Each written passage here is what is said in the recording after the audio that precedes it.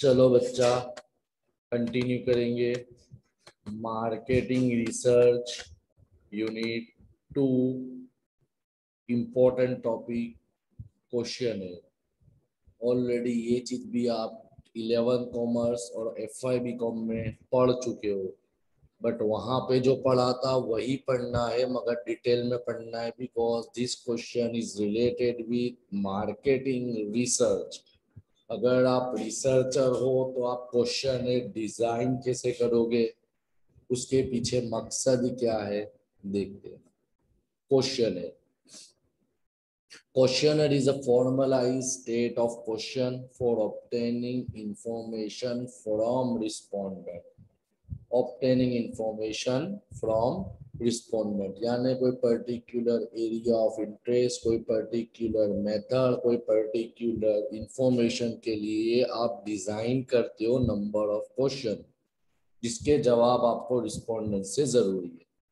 Question is also called schedule और interview form और measuring instrument MCQ में आ सकता है।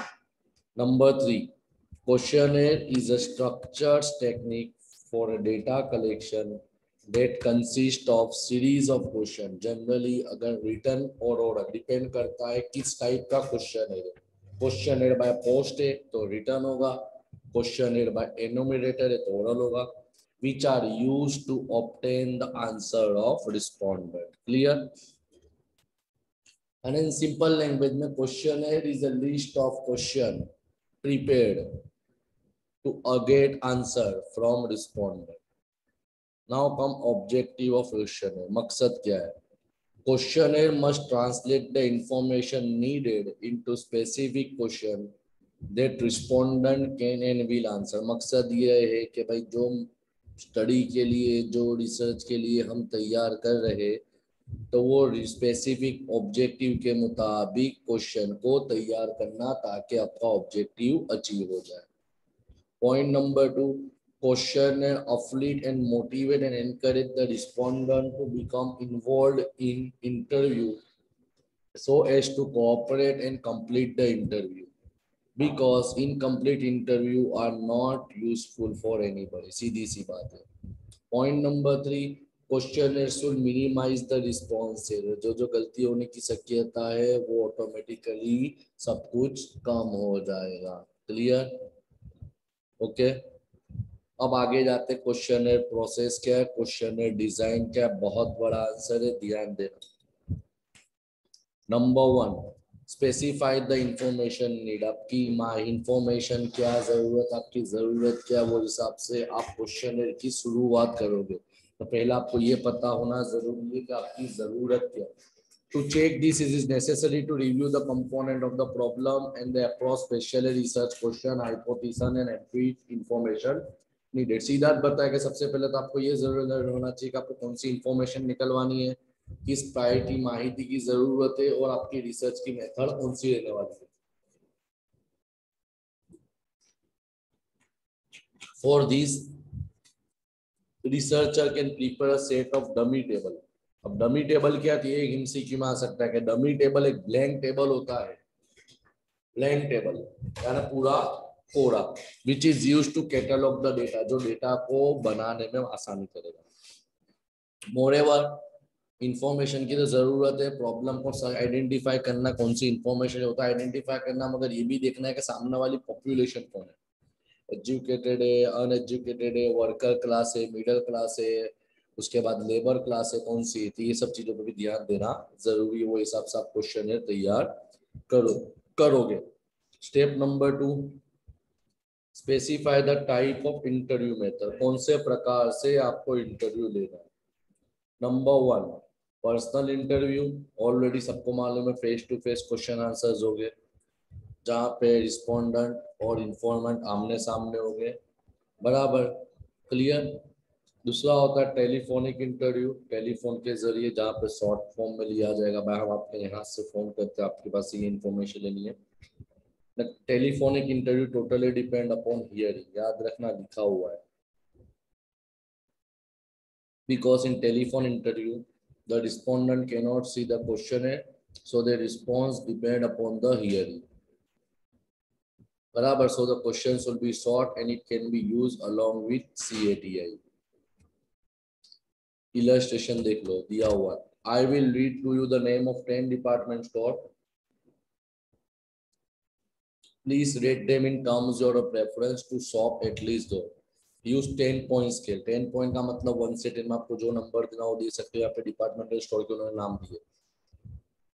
अब ऐसा नहीं कि आपको एग्ज़ाम में दस डिपार्टमेंट आप इसके बदले कोई भी जो बिज़नेस में वो बिज़नेस के हिसाब से पूछ सकते हो। ये हुआ तुम्हारा टेलीफोनिक इंटरव्यू तीसरा होता है मेल क्वेश्चन है। मेल क्वेश्चन का मतलब ईमेल कर दिए इन मेल क्वेश्चन है the question are self administered so the question will be simple and detail instruction will be provided in computer assisted interview याद रखना मोस्ट टाइम पी है। The researcher must include the complex question क्यों? क्योंकि यहाँ पे तुम मेल भेज रहे हो तो यहाँ पे कंप्यूटर में तुम हर प्रकार के क्वेश्चन पूछ सकते हो। बट ईमेल क्वेश्चन है बट ईमेल क्वेश्चन है. Have to be very simple clear यानी तुम जिस प्रकार की कन्वर्जेशन करोगे, उस प्रकार से आप क्वेश्चन की तैयार करोगे. इसमें अलग अलग टाइप ऑफ़ क्वेश्चन हैं वो सब पढ़ने की ज़रूरत नहीं एग्ज़ाम्पल दिया ताकि आपको समझ में आ सके. Third one is determine the individual question content individual question content ये बहुत ज़रूरी है अगर आप क्वेश्चन तैयार करते हो तो। क्लियर जैसे question must contribute to the information which is needed ये सबसे बड़ा चीज़ आपको वही क्वेश्चन करने हैं, वही क्वेश्चन में क्वेश्चन होने चाहिए जिसके बारे में आप इंक्वायरी कर रहे हो। If there is no contribution by question then such question is unnecessary अगर वो क्वेश्चन काम का ही नहीं है ना आपने पूछ लिया तो कोई काम आने वाला नहीं है। समटाइम्स सर्टन क्वेश्चन में भी as at the beginning to establish rapport airport का मतलब क्या होता है? सामने वाले का इंटरेस्ट बढ़ाने के लिए। समटाइम फिलर क्वेश्चन में आस फिलर क्वेश्चन का मतलब क्या होता है? कि एग्जांपल के तौर पे देखो for example uh survey on species sponsored by HP में include the filler question about DLNA पर फिलर यानी डिसगाइज इनको थोड़ा माइंड फ्रेश करने के लिए या तो उनकी दूसरी कंपनी की राय लेने के लिए कर सकते हो। तो पहला पॉइंट ये देखना है कि क्या वो क्वेश्चन ज़रूरी है। उसके बाद कितनी बार ये भी आता है कि अलग अलग क्वेश्चन पूछने के बदले एक क्वेश्चन पूछ लो। Sometimes several question are necessary to obtain the information meaningful illustration one do you think Coca Cola is a tasty and refreshing stop drink it is incorrect because if respondent say no to it it mean it is not tasty not refreshing और बहुत समझ में आ गया एक सवाल में दो सवाल के जवाब मिल गए। क्लियर कि वो टेस्टी भी नहीं है वो रिफ्रेशिंग भी नहीं है, और वो दोनों दो नहीं है। क्लियर समझ में आया? मगर उसके बदले ऐसा भी क्वेश्चन आ सकता है do you think Coca Cola is a tasty and do you think Coca Cola is a refreshing it is the correct pattern for asking the question so researchers will not use double bed question क्योंकि हो गया कि इसमें एक चीज़ अच्छी भी होगी, उसने नो बोल दिया तो दोनों दो नेगेटिव हो जाएगा। क्लियर सब इलस्ट्रेशन है, ज़्यादा कुछ भी नहीं दिया। इनएबिलिटी टू आंसर ये भी चीज़ है। Overcoming sometime responder are unable to answer the question दो कारण के वजह से क्वेश्चन का जवाब नहीं देगा नंबर वन या तो उसके पास वो चीज़ का नॉलेज नहीं है टू लेक ऑफ़ इंफॉर्मेशन और लेक ऑफ़ एबिलिटी समता नहीं So whether respondent is informed or not. For example, sub example, in a family, if wife make all the purchase, then husband may not be informed about monthly expense for grocery and departmental store purchase. In such case, the questioner asked to screen out the respondent who do not have the information. Clear सीधी बात है कि जो जो काम करता ही नहीं है उससे तुम उसके रिलेटेड क्वेश्चन पूछोगे तो वो क्वेश्चन का रिस्पॉन्स मिलने वाला नहीं, यहाँ पे एग्ज़ाम्पल दिया हुआ है।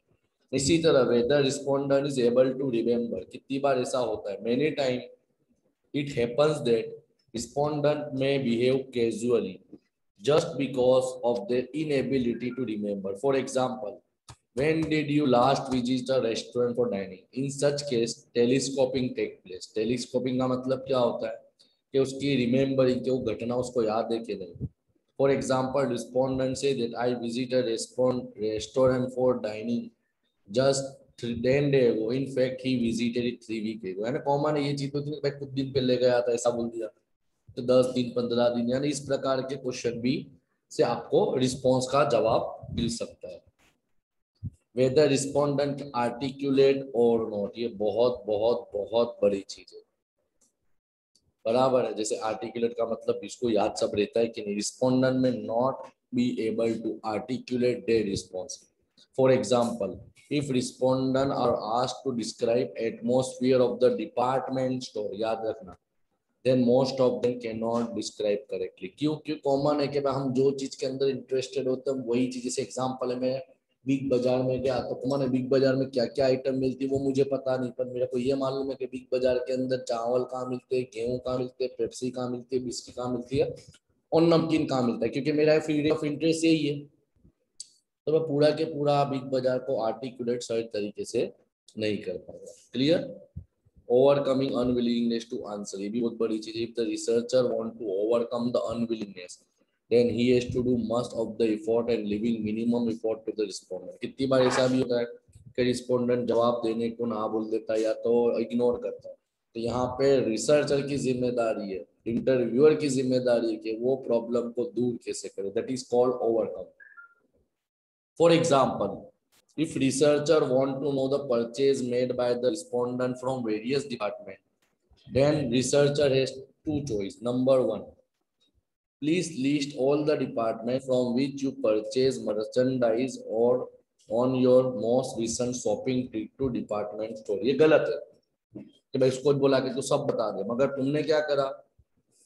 फॉलोइंग आर द लिस्ट यहाँ सब नीचे बता रहा हूँ मैं इसमें से आपने क्या परचेज करा लास्ट ट्रिप में वो बोलो। तो इस तरह सब एग्जांपल दे दिए women dress children men apparel से dot dot dot dot dot dot dot dot jewellery इसका मतलब क्या होगा ऑटोमेटिकली रिस्पोंडेंट को ये तो याद होगा ना क्या खरीदा तो ऑटोमेटिक उसके पास ऑप्शन आज अवेलेबल हाँ। वुमेन का हमने खरीदा था। ग्रोसरी हमने खरीदी थी। बराबर हमने चाय खरीदी थी। हमने कंज्यूमर प्रोडक्ट खरीदी थी। हमने बिस्किट खरीदे थे। तो तुमने लिस्ट बना के दिए दिया तो आसानी से क्वेश्चन का जवाब दे देगा। Point number four choosing question structure ये अपने नेक्स्ट लेक्चर से कंटिन्यू करेंगे।